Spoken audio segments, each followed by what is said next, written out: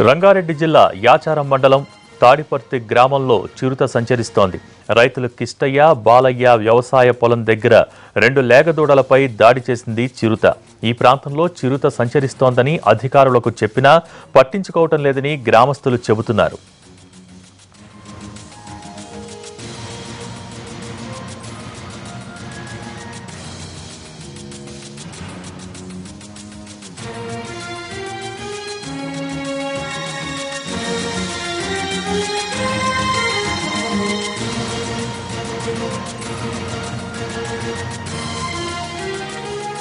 ఇటువంటి సంఘటనలు కూడా మనం పరిశీలన చేసుకుంటే కడతాల అమ్మన్గల్లు ముదివేను సరికొండ మేడిపల్లి కొత్తపల్లి అన్ని ఎక్కువపల్లి ఇటువంటి ప్రాంతాలన్నిటిపైన పులి అనేది సంచరిస్తూనే ఉంది. ఫారెస్ట్ అనుకూలంగా ఉంది కాబట్టి వారు దాని పర్యావరణాన్ని పరిరక్షిస్తూనే ఈ చే పులిని కూడా కొద్దిగా రైతు పొలాలకు రైతులను భయభ్రాంతులకు గురి చేస్తుంది కాబట్టి వాటిపైన కూడా ఫారెస్ట్ అధికారులు చర్యలు తీసుకుంటారు.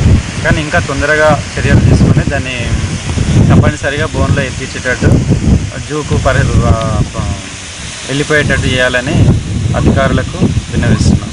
ఏమేం చెప్పి ఈ తెలంగాణ వచ్చింది.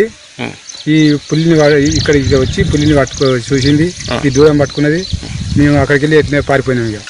మీరు చూసినావా పొద్దుగాల? పొద్దుగాల చూడలేదు మేము. ఆ. నైట్ పూటనే వచ్చింది.